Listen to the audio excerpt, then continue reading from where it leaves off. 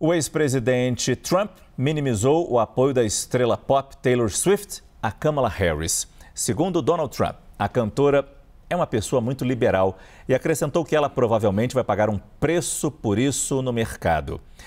Pouco depois do debate presidencial da ABC News, Taylor Swift escreveu no seu perfil do Instagram que votará em Kamala Harris e Tim Walz na eleição porque eles lutam pelos direitos e causas em que ela acredita.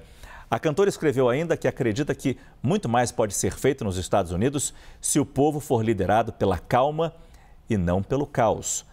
Depois que recebeu o apoio da estrela, a campanha de Kamala Harris começou a vender pulseiras da amizade Harris Walls, 20 dólares cada uma. E olha, se esgotaram rapidamente. Essas pulseiras são uma marca registrada entre os fãs em referência a uma das músicas de Taylor Swift.